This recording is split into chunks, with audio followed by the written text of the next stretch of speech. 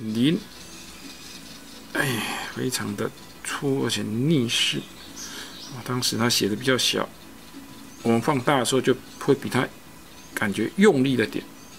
没办法，我们字就是比他大。哎，要灵动，要有方向，有角度。遇到这么密，哎，要伸长，然后不要通通挤在中间。这个不伸长，这边就会挤成一团。那因为它伸长，所以挤一团没关系的，就不会觉得太挤。挑起来，挑起来干嘛？点这一点，然后这里就觉得挤了点。哎呦，有点挤，有点挤，吸收。这样挤，他写的有点粗，没跟他一样粗，好像他还比我更粗，不用怕啊。啊，书法家在写粗细其实蛮蛮赶的。啊，一般我们在练习的时候都会怕。